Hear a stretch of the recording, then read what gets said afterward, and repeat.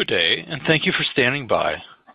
Welcome to the PAA and PAGP fourth quarter 2023 earnings conference call. At this time, all participants are in a listen-only mode. After the speaker's presentation, there will be a question-and-answer session.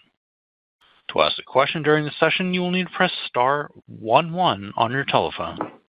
You will then hear an automated message advising your hand is raised. To withdraw your question, please press star one one again. Please be advised that today's conference is being recorded. I would now like to hand the conference over to your speaker today, Blake Fernandez, Vice President of Investor Relations. Please go ahead. Thank you, Daniel. Good morning, and welcome to Plains All American fourth quarter 2023 earnings call. Today's slide presentation is posted on the Investor Relations website under the News and Events section at plains.com. An audio replay will also be available following today's call. Important disclosures regarding forward-looking statements and non-GAAP financial measures are provided on slide two. An overview of today's call is provided on slide three. A condensed consolidating balance sheet for PAGP and other reference materials are in the appendix. Today's call will be hosted by Willie Chiang, Chairman and CEO, and Al Swanson, Executive Vice President and CFO, as well as other members of our management team. With that, I will turn the call over to Willie. Thank you, Blake. Good morning, everyone, and thank you for joining us. Today, we reported fourth quarter and full year results exceeding expectations in both our crude oil and NGL segments. We've made considerable progress towards our long-term strategy while demonstrating continuous execution of our goals and initiatives. In summary, fourth quarter and full year adjusted EBITDA attributable to PAA was $737 million and $2.71 billion, respectively, with full year results exceeding the midpoint of our initial guidance by approximately 210 million or 8%. We lowered our long-term leverage ratio target range to 3.25x-3.75x, and we ended 2023 with a leverage ratio of 3.1x. Our efforts to enhance the balance sheet were recognized by the credit rating agencies with two recent upgrades to mid-BBB. Additionally, we completed several win-win strategic transactions in both of our both of our both in our crude oil and NGL segments, and including three Permian gathering bolt-on transactions, the sale of our interest in a Canadian fractionation facility, and the recent divestiture of approximately 600 crude oil railcars for proceeds of approximately 40 million. These transactions are representative of our ongoing efforts to optimize our asset base and streamline our operations while generating attractive returns for unitholders. The strong EBITDA results, along with the recent bolt-on transactions and lower leverage, helped underpin a $0.20 per unit annualized increase in our common unit distribution level, which will be payable later this month and represents a 19% increase in the annualized distribution relative to 2023 levels. Turning to slide four, it should come as no surprise that our 2024 key focus areas remain very consistent with last year's.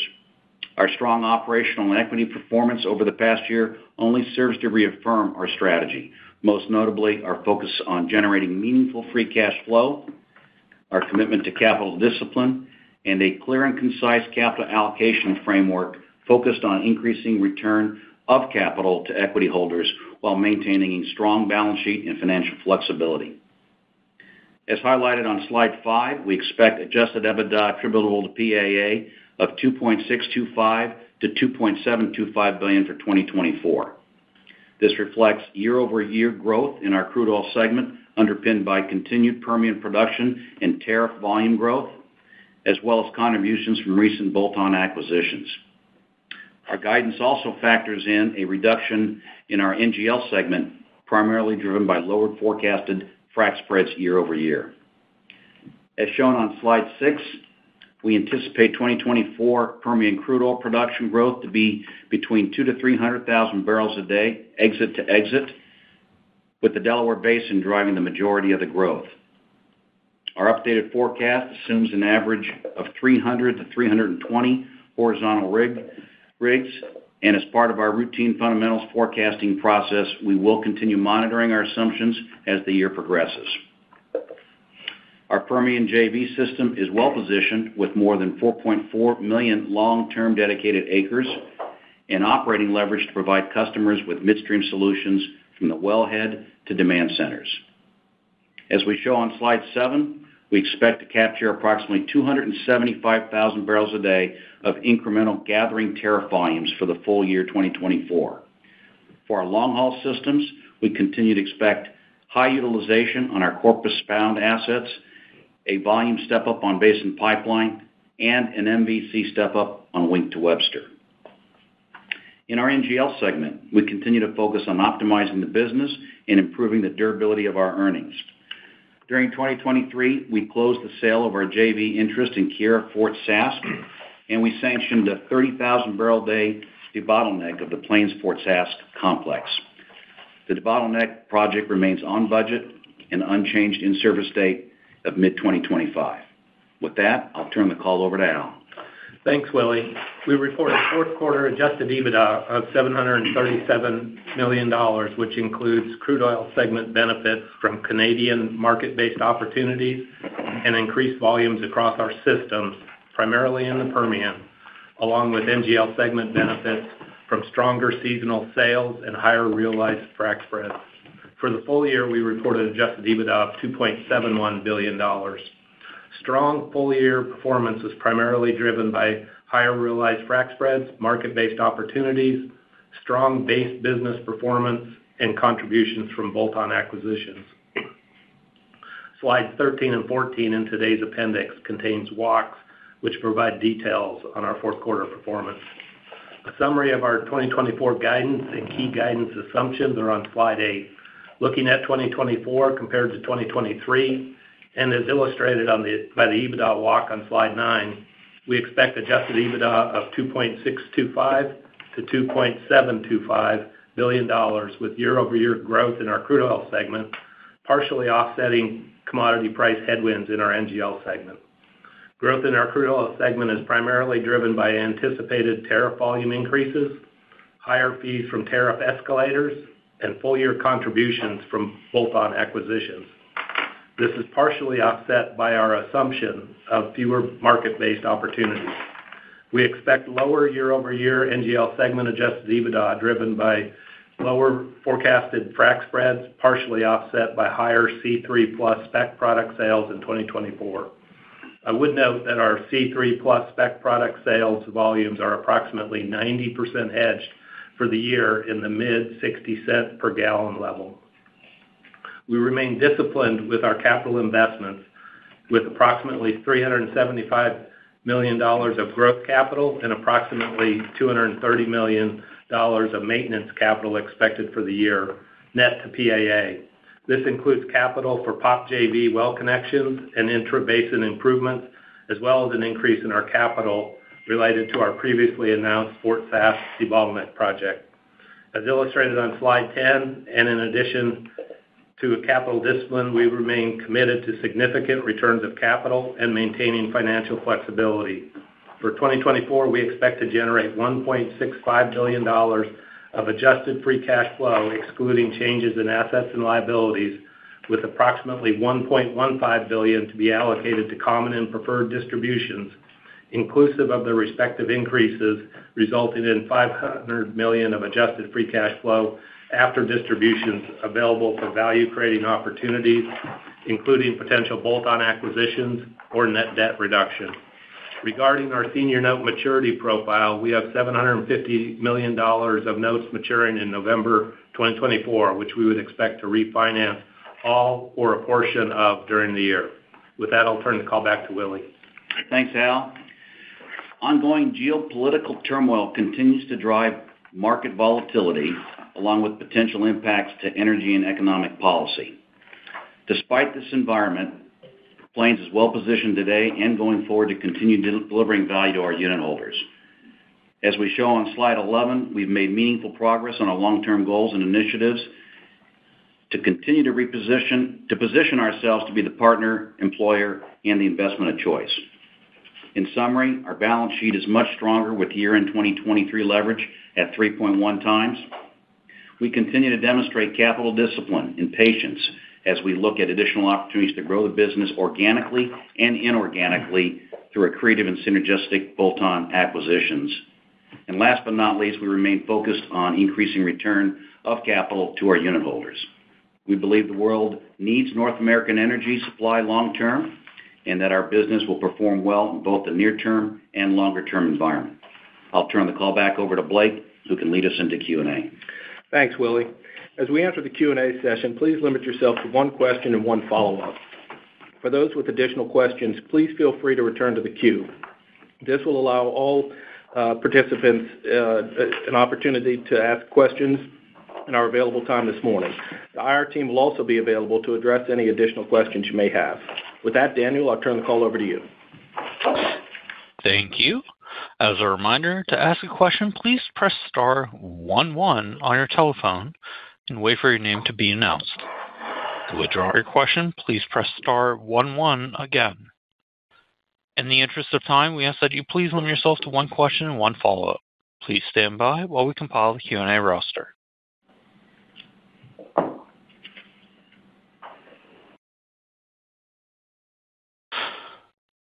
Our first question comes from Michael Blum with Wells Fargo. Your line is now open. Hi, Michael. Thanks. Hey, good morning. Um, I wanted to ask a little bit on the 2024 guidance. Um, your Permian uh, Basin level growth forecast, it's pretty close to your own gathering volume growth estimate. And I'm just wondering if you could speak to that. Is that a function of your market share in the basin? Is that just a coincidence? Uh, the guidance also assumes a pretty nice jump in Western volumes year-over-year. So I wonder if you can talk about what's driving that as well. Yeah. Uh, Michael, this is Willie. Uh, the 275, maybe for clarity, it's composed of two factors. One, the M&A, the bolt-on transaction volumes that we uh that we added um, last year, and that's about 150,000 barrels a day. And then growth from the growing basin, which is about 125,000 barrels a day. And on the Western volumes, Jeremy, you wanna comment on that? Yeah. If you're speaking about Delaware Basin volumes being Western. Oh, Western California. That was due to some downtime at the beginning of last year. So it's basically just normalizing to the second half of the year run rate and some shutdown from California refineries, which pushed more volumes to the pipe. So it's a combination of those two things. Okay, perfect. Uh, appreciate all that. Then, um, just wanted to ask, um, it seems like the open season on Gray Oak is uh, moving forward. So just wanted to get your views on how you see that impacting uh, your recontracting efforts on uh, Cactus, and then just generally on overall supply versus takeaway out of the basin. Thanks. Sure. So what I would say first is Gray Oak open season, we expect it to be successful. Um, we're Uh, continuing to have constructive dialogue with our customers and see no reason why that's gonna impact our re recontracting negotiations. As far as takeaway from the basin, pipes to Corpus and are still full. Wink to Webster are still full. You have some flex on a few pipelines in the area, but as basin grows, it will tighten. But it's a constructive market. People know where they wanna bring their barrels uh, in the future, and we would continue to uh, be positive on the long-haul pipes as time goes. Thank you.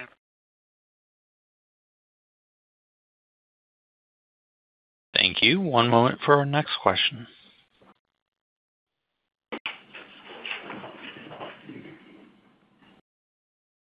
Our next question comes from Brian Reynolds with UBS.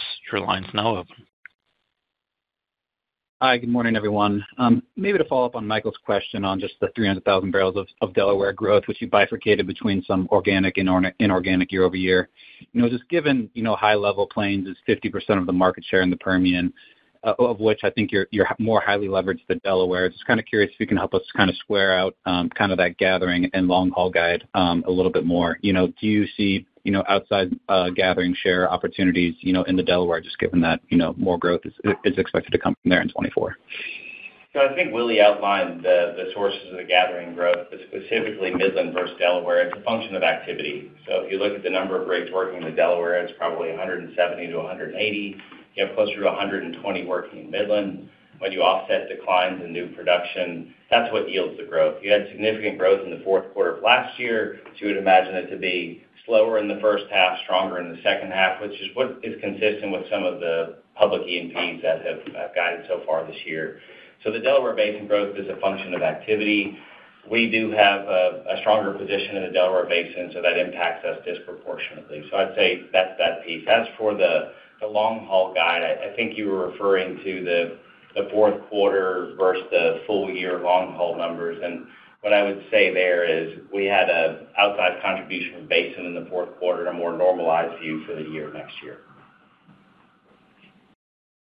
Appreciate all that. Um, maybe as my follow-up, switch to capital allocation. You know, Plains enters 2024 with a similar, you know, Tier 1 free cash flow yield in the space, similar to 2023. You know, last year we saw debt reduction and some opportunistic M&A along with the with the distribution bump. So, you know, kind of curious as we look ahead to 2024, preferences of that excess cash, and specifically on M&A, do you see a similar amount of, like, bolt-on opportunities in 2024, or are they, you know, more limited at this juncture to where, you know, debt reduction might be the preference?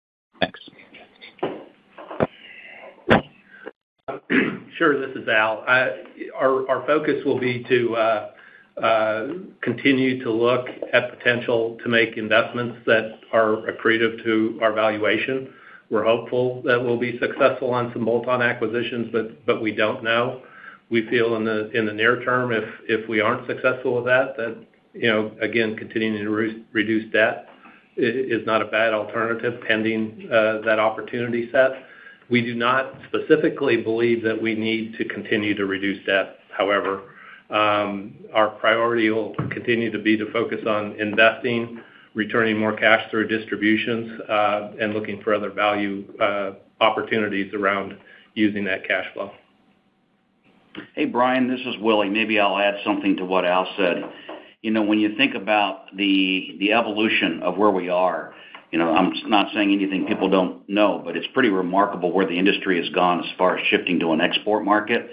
A lot of capital has gone into the industry uh, in the last decade, and I think what we're seeing right now is uh, really um, kind of a a change in the business cycle, focus on returns, Uh, which really is going to reinforce um, more opportunities for asset sales, consolidation. And really, to address your question, I do think there are gonna be more opportunities in there. And uh, frankly, we just need to be very patient and capture it. Our asset base, as you know, is well situated to be able to capture synergies across the system, uh, in many of the basins we operate, but particularly the Permian. And the key now is to stay very disciplined, Um, and at the right valuations, um, you know, I think we can add, uh, we can add bolt-ons just as we did last year. Great. Thanks. I'll leave it there. Enjoy the rest of your morning. Thanks, Brian. Thank you. One moment for our next question.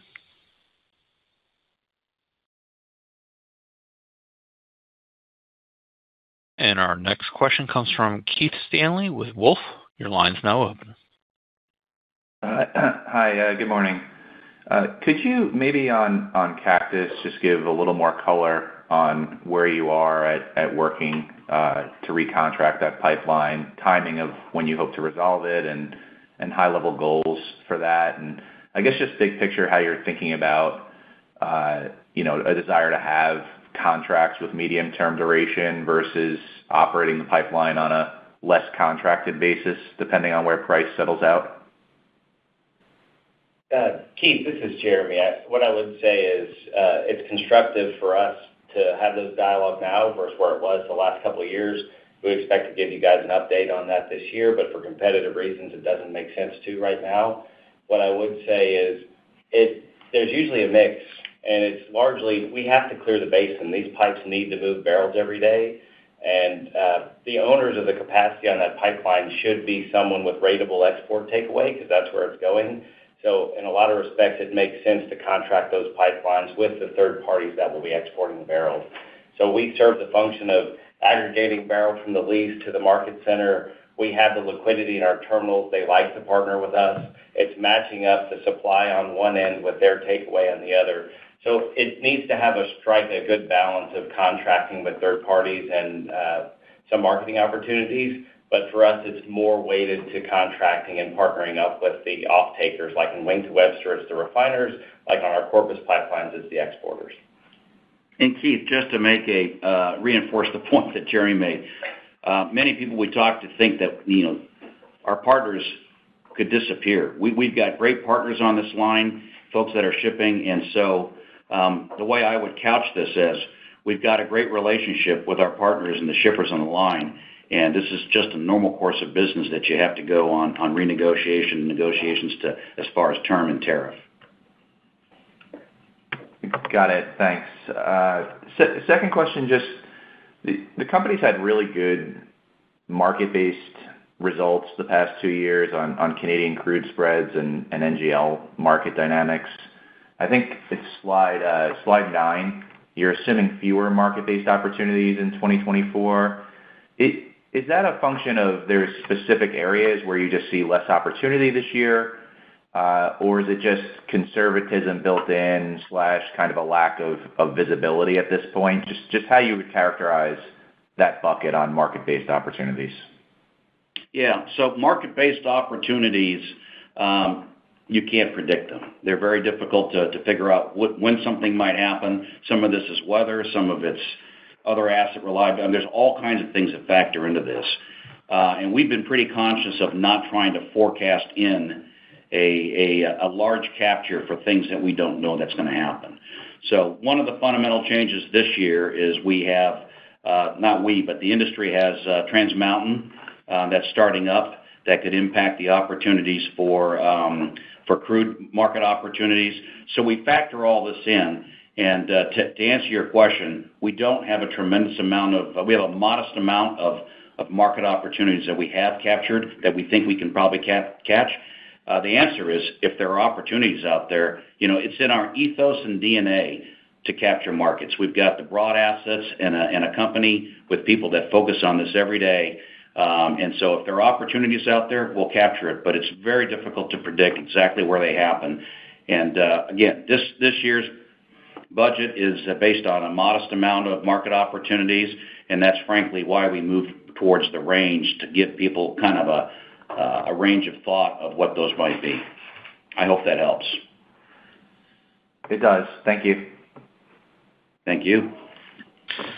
Thank you. One moment for our next question.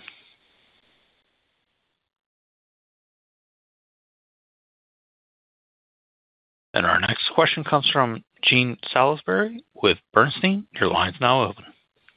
Hi, good morning. Um, can you talk through the puts and takes of TMX starting up on Plains' various assets, um, Canada, your Canada crude pipelines, flows to Cushing, et cetera? Hi, Jean. Good morning. It's Jeremy. Uh, it's a function of time, so it's not just linear. But at startup, you would imagine there'd be less market-based opportunities, but there'll be the opportunity for more production growth in the basin. It will offset some current flows like rail from the Williston or exports of heavy from the Gulf Coast first. and Then you'll have replacement of, in our opinion, you'll have replacement of production growth in Canada. So in that initial period, there'll be less market-based opportunities.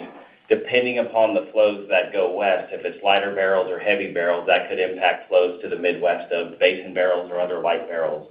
So there are opportunities. We're going to have to wait for it to start up and transition into full capacity that can be reached, and what those flows will impact all those components. Mm-hmm.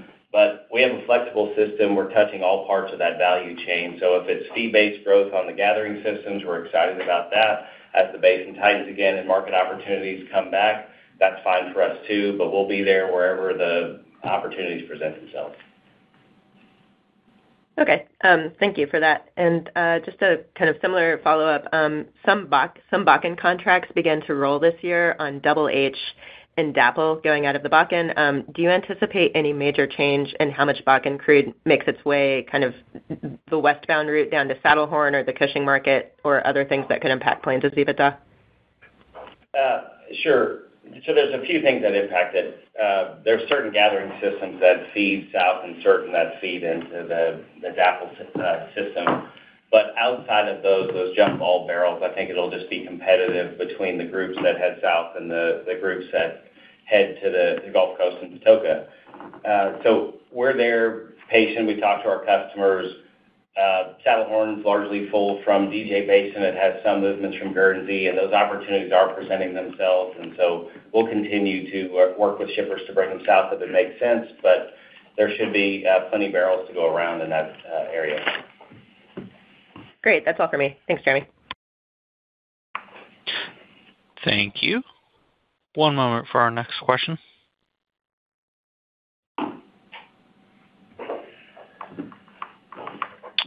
Our next question comes from Neel Mitra with Bank of America. Your line's now open. Hi, good morning. Um, I wanted to touch on the 90% of NGL frac spreads that are hedged for 2024. Obviously, um, frac spreads have trended up lately. I was wondering uh, if you're able to catch some of that um, with the incremental hedges you put on, and how are you looking at perhaps hedging more than usual and, um, you know, maybe going up to 100% if you're content with this frac spread environment right now? Uh, Neel, first thing, it's really backwardated, and until natural gas prices tanked a few weeks ago, it was substantially lower. So this is relatively new, and it's much higher in the front. I think 2025 is $0.56-$0.57, and prompt could be at $0.80. So that backwardation prevents a lot of forward hedging. Uh, our hedges are consistent with what Al said, in the mid-60s at roughly 90%. And what you could say is that the hedging profile for us is somewhat consistent with the forward market. So we're higher hedged in the front and lower hedged in the back end of the year, if that's helpful. Okay. Um, then Second question, Jeremy, uh, maybe just if there's a way to kind of bridge where the Midland MEH uh, spread is right now for 2025 and where you're looking to contract and how how we should look at it um, on a contract basis versus a spread basis when you're uh, signing up these contracts? Sure. What I would tell you, Neel, is most of these contracts are for the latter half of 2025 and forward. So we're not really looking at the 2025 market. We're looking more what is the constructive long-term rate to ship barrels from the Permian to the Gulf Coast. And so that's between us and the shippers, but we're having constructive dialogue, and we're less worried about 2024 and 2025 and more what the long-term rate is after the contracts roll. And when you talk to your uh, counterparties, are these three to five-year contracts typically, or are you looking longer, um, given that? I think we'll uh, okay, Neel, what I would suggest is we'll give you an update later in the year and give you more information. Okay, great. Thank you. Thank you. And one moment for our next question.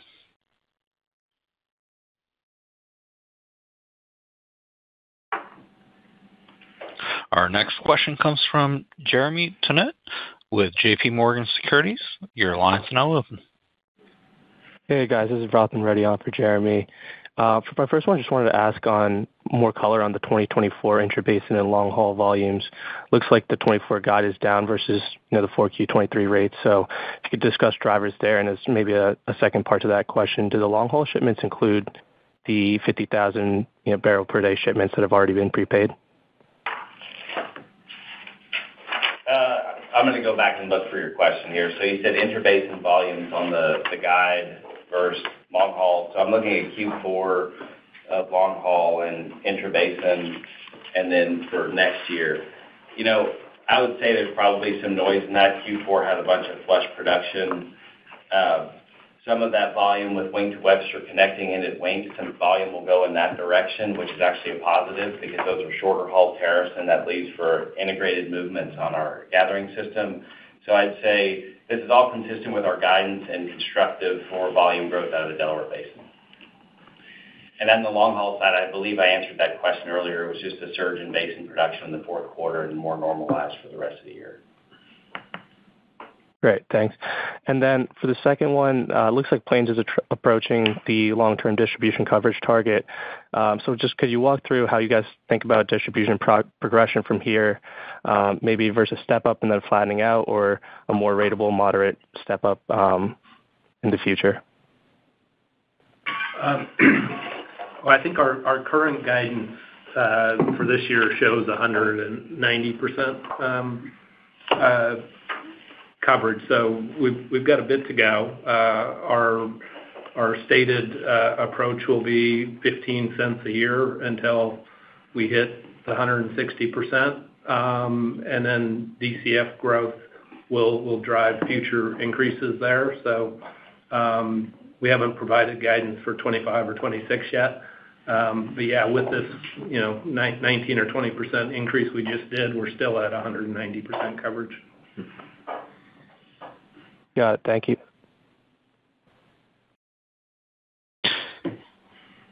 Thank you. One moment for our next question.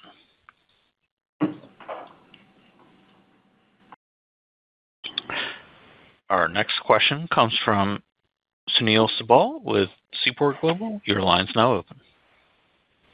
Yeah. Hi, good morning, everybody. I just wanted to dwell a little bit on your gathering uh, volumes. Uh, could you give us a sense of, you know, your gathering volumes in Permian? Roughly, you know, what percentage of that comes from your dedicated acreage versus uh, acreage where you may be competing for volumes? Hey, Sunil, this is Willie. Um, I don't know if you were on earlier, but the overall gathering volume increases are 275,000 barrels a day. 150 of it's from the bolt-ons that we did. Uh, the remainder of the growth, 125,000, is all really all Delaware Basin growth. Okay. No, I was actually referring to your current gathering volumes. Uh, I was curious, you know, in Permian, is there a good sense of what all comes from your dedicated acreages in Permian versus acreages where you may be competing for those gathering volumes? Sunil, I would say the vast majority is associated with the 4.4 million acres that Willie referenced in the script that are dedicated to the system. Understood. Uh, and then on the M&A front, uh, seems like, you know, you divested some assets uh, in 2023. Could you give us a sense of, you know, from an opportunistic M&A perspective, where where do you see the most value, either basin-wise or asset-wise?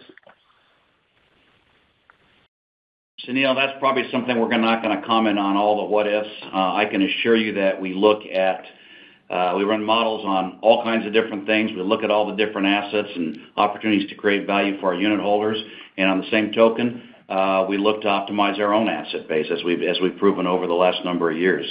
So it's a dynamic Uh, activity that happens every day. It's really hard uh, to focus on valuations in different basins. So we'll have to maybe we can follow up with you on the uh, offline and see if we can answer your question a little bit better. Got it. Thanks. Thank you. Thank you. And one moment for our next question.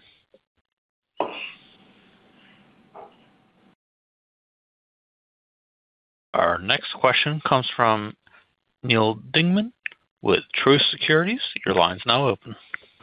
Morning, guys. Thanks for the time. Um, my question, maybe Willie for you or Al, is just on Permian volume expectations. Um, Bill did a good job. You mentioned the rig count, which continues to be nice and stable. But to me, what seems to get a bit lost is the improved continued D&C efficiencies that, you know, happens to result in more volumes, you know, even with these similar levels. So I'm just wondering, do you all continue to see this type of upside as I do, you know, even if the you know if the D&C, if the rigs, say, stay relatively stable, are you still expecting some nice volume upside on your part? I think our forecast is consistent with what the industry is doing today, but they're all working to get better. If you look at oil in place targets, and they're achieving in first recoveries less than 10%, they're trying to get higher than that. And if they do that, that would be where a big movement would be. What I would say, though, is consistent with our view of supply and demand and current D&C practices.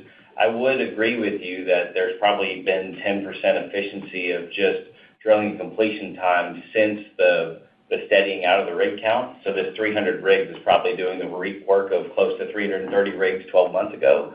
But as far as recoveries, I think recoveries and our view of efficiencies are built into our forecast this year. Longer term, our bet would be on the U.S. E&Ps, that they would figure out how to get higher recoveries. Yeah, great detail. Yeah, Neal, remember, We do a top-down assessment. We also we have our connection forecast. It's kind of a bottoms up, and so we factor all that together, and that's where we got our number from. Great point. Yeah, that's that's good. You all have that detail. And then my second question is just maybe on the NGL segment specifically, it looks like just wondering how you're thinking about, you know, is the sort of level now that propane, you know, we're through a bit through the season. Seems to me, you know, do you think we'll have more propane pricing pressure? And just, I guess I'm just wondering how you think that's gonna impact the regional basis differentials and, you know, maybe some more spot opportunities you all might have. Sure. I think that's a function of location. So, um, Fort Sask is limited on fractionation capacity, which is why we're expanding in our pier. So There could be some pressure on Y-grade prices there. I'd say in the Gulf Coast, production growth will continue on the NGL side as associated gas and other gas grows uh, sources grow. And so there needs to be some expansion of dock capacity and fracs in the Gulf Coast. So you could see some issues there. But in a lot of the locations where we sell our uh, NGLs, they're uh, structurally short and inability to bring additional capacity into. So we'll continue to try to sell into those markets and maximize basis. Okay. Thank you, guys. Thank you. One moment for our next question.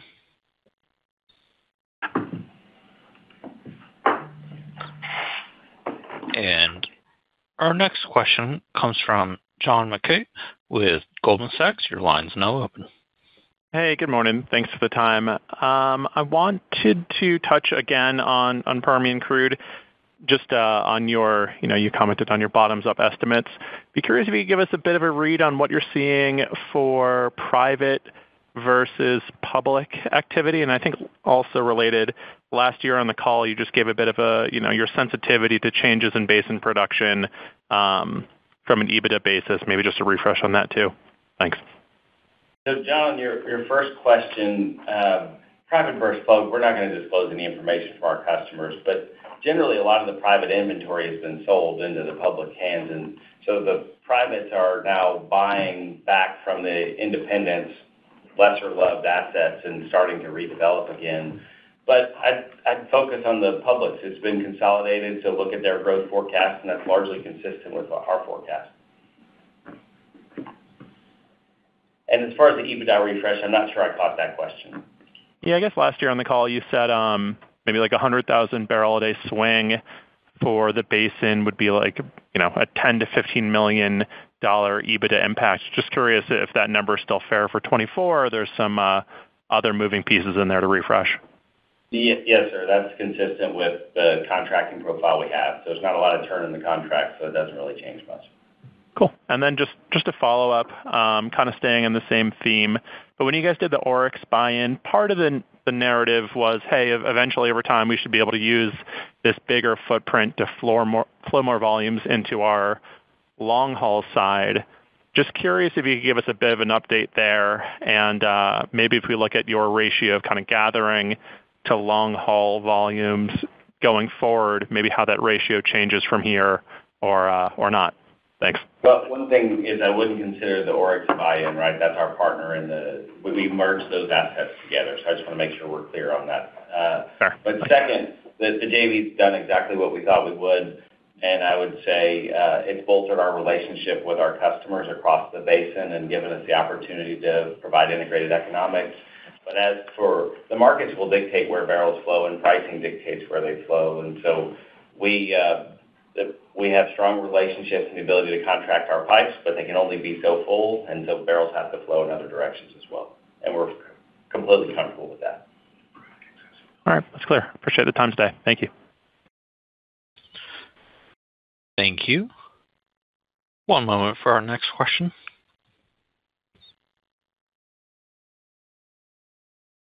Our next question comes from Theresa Chen with Barclays. Your line is now open.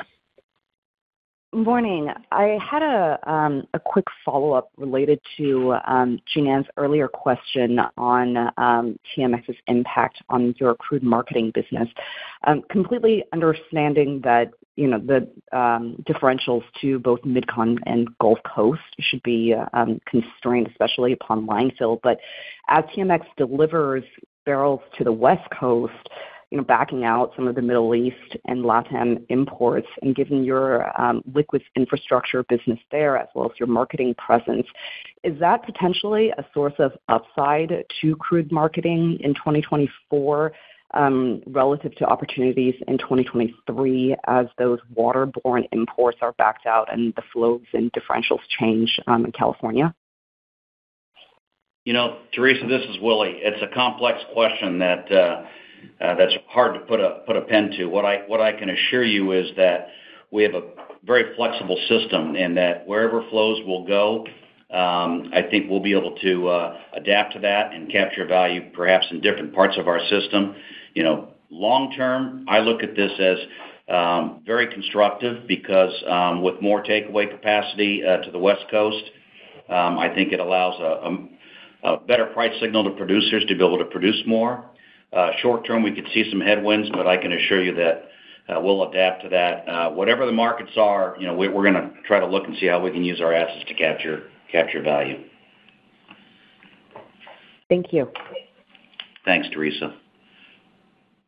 Thank you. And one moment for our next question.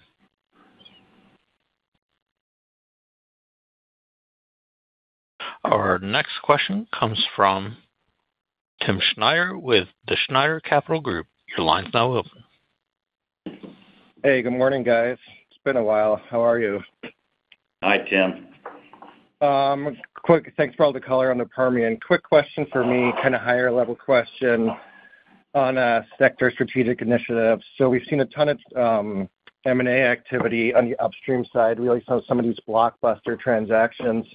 So I have two questions for you on this. Number one, how do you view upstream M&A specifically kind of for Plains and for the midstream sector? Is that good for you, bad for you, kind of neutral?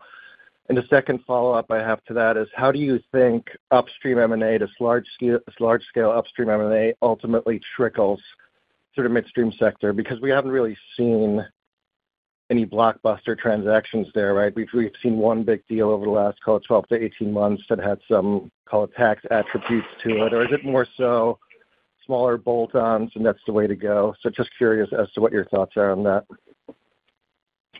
Well, Tim, uh, short answer on the question for upstream consolidation and the impact on Plains. Uh, with our asset base and the relationships we have, I don't think it's going to be uh, a material impact on us. We work with, um, if not all, most of the large players.